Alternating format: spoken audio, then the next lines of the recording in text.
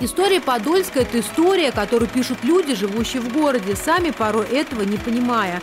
Вот он, первый троллейбусный маршрут. За рулем Наталья Рожкова. Разве могла она предположить 20 лет спустя, что станет частью уже новейшей истории городского округа? Эйфория была.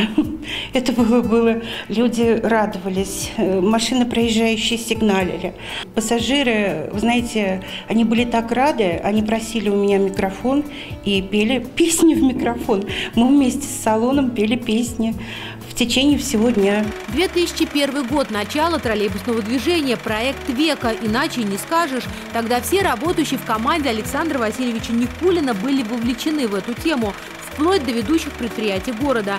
Воплотить идею в жизнь удалось за минимально короткий срок. При поддержке губернатора области Бориса Всеволодовича Громова 25 троллейбусов вышли на линию по двум маршрутам. Борис Всеволодович принял положительное решение, оказал э, округу помощь, во-первых, с приобретением э, в Энгельсе, в Саратовской области троллейбусов, и он сам туда вылетал э, на эту территорию. И Александр Васильевич Никулин там был, Николай Викторович Сафонов, Петр Иванович Забродин. Я не помню в команде человека, который не был бы вовлечен в эту тему.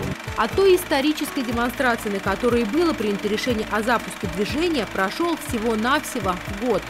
Также Борис Силович был на демонстрации, но уже в центре практически, на площади Ленина, стоял украшенный Подольский троллейбус, а движение фактически было открыто рабочее несколько раньше, но с 1 мая э, электрический транспорт, Подольский троллейбус э, уже работал на линии.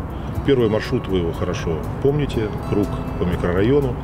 Э, после демонстрации настолько переполняло Александра Васильевича Никулина вот, состояние совершенно понятное, что он даже остановился, я помню, зашел в троллейбус, с удовольствием сел за руль. И вот, вот таким было ощущение всей команды, когда создавалось предприятие а с формированием коллектива занимался первый директор Владимир Константинович Юров, а нам с нынешним председателем контрольно-счетной палаты э, Владиславом Юрьевичем Тарасовым, тогда он возглавлял Центр занятости, от штаба было поручение заняться подготовкой кадров.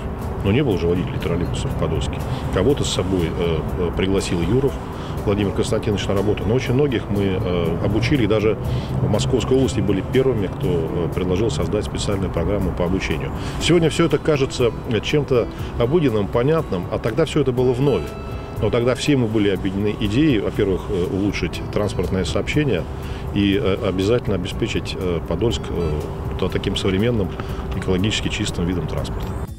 Только вдумайтесь в эту цифру – 7,5 миллионов пассажиров в год, а за 20 лет перевезено 150 миллионов подольчан. Сейчас представить город без троллейбусов невозможно. Это не только экология, но и прежде всего безопасность. Предприятие всегда входит в число лучших областных перевозчиков. Водители, в их числе немало женщин, подтверждают свое мастерство на различных конкурсах. Сейчас троллейбусный парк – это 47 современных машин и 320 сотрудников. 5 маршрутов, а неофициально почти 6 есть. Основными вехами подольского троллейбуса то, что сохранились традиции, что троллейбус, он э, развивается. У нас э, есть 47 троллейбусов, у нас есть 6 троллейбусов, которые приобрело предприятие за свой счет, а приобрело 6 троллейбусов на автономном ходу. У нас открыт четвертый маршрут 4К, который с 2022 года станет шестым маршрутом основным. Хотелось бы пожелать всем нашим сотрудникам добра, счастья, любви, удачи, чтобы у них в жизни все сложилось и чтобы они вкладывали все свои силы Подольский троллейбус на благо нашего любимого города Подольска. Кстати, троллейбусы курсируют в Подмосковье всего лишь в трех городах – в Химках, Видном и у нас в Подольске. Первый выезжает в город в 5 утра, а возвращается в парк в час ночи. Светлана Сайгутина, Михаил Долженко, телекомпания «Кварц».